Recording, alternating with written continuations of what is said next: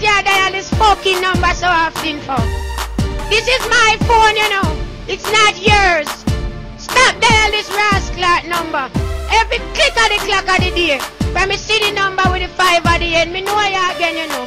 Where the bomber rascal you call me for again? Poopa Jesus, I go and call customer care 100 to blood clot to change this number. Man, fuck off, man. Call it king.